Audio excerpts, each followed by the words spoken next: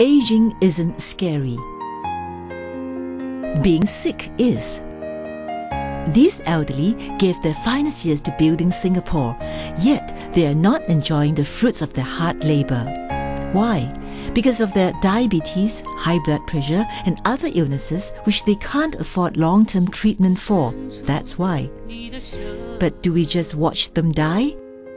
Receiving free treatments in Singapore is not uncommon, but the main problem lies in medication as it is extremely costly to provide long term medication.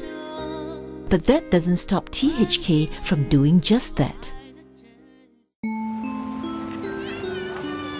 The free clinic situated at MacPherson has been providing free Western medicine since 1978, every Tuesday evening without fail for the past 34 years.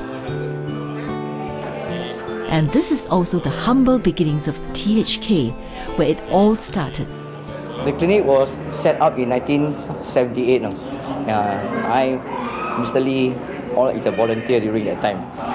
Okay, until now lah, can see it. Okay, so uh, in it, the first clinic we have is at uh, Block 64, Kallang Bahru, and we shifted here around 15 to 16 years ago.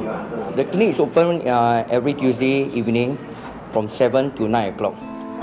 Facilities here may be simple, but it is the thick compassion in the air that makes this place so different.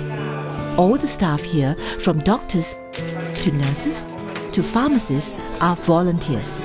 And the clinic was run by volunteers and volunteer doctors. And can see most of our doctors are they we ask for more than 10 years. Firstly is uh, the commitment that I uh, needed from me is actually manageable. Oh, and also I know Michael for quite a long time, so uh, it's also helping a friend, and also it's for a good cause. 试唔试啦？试啦，冇爱嘈。冇，你看冇到听到叫嘅声冇？要接落去了嘛？要接了，我听咧。头盔吼，头盔。 Most of them actually come with some minor acute problems, but uh, quite a few of them actually have quite uh, chronic stable medical conditions, lah, mainly the patients with high blood pressure. At THK Free Clinic, patients do not have to worry about long term medical costs. I follow my son now because I got three grandchildren. Uh, mother, father also separate. I look after. Then I cannot work lah. For for me good lah because I have no money because everything free. Doctors here spend more time on their healing roles instead, healing hearts as well as bodies. Zoe is quite good. Like. Doctor is quite, quite friendly.